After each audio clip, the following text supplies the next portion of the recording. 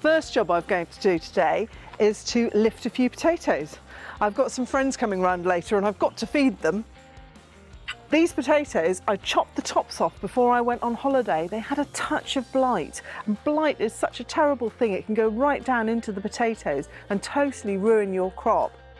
Hopefully that hasn't been the case. By chopping the tops off, hopefully I've nipped it in the bud, but we'll have to have a little look and see.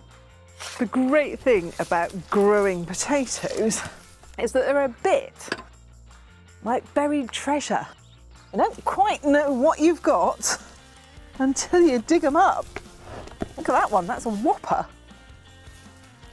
They're a brilliant crop for a beginner to grow as well because you nearly always get good results.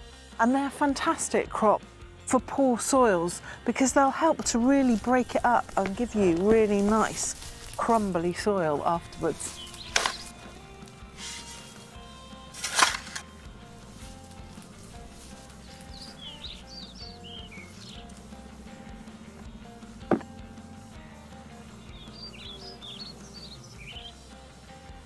I am so pleased with this crop of potatoes. I really did get away with it. The only problem I've got is the odd one or two that I spiked when I was lifting them, uh, which I'll have to eat fairly quickly.